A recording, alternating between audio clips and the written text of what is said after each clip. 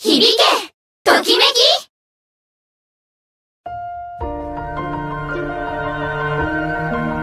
果てしない空の向こう。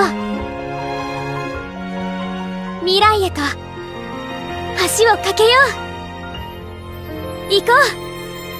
明日へ。見つけた。会いたかったわ。ええー、留学生？クールアイドルになるために香港から？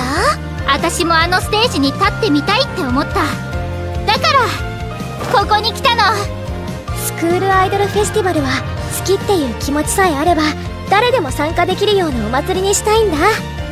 音楽家も忙しいんだよね。本当に両立できてるの？大丈夫だって。もう一度聞くわユウ。あなたはどうして同好会にいるの？夢は違っても私はいつだって力になるからね。ラブライブ！虹ヶ崎学園スクールアイドル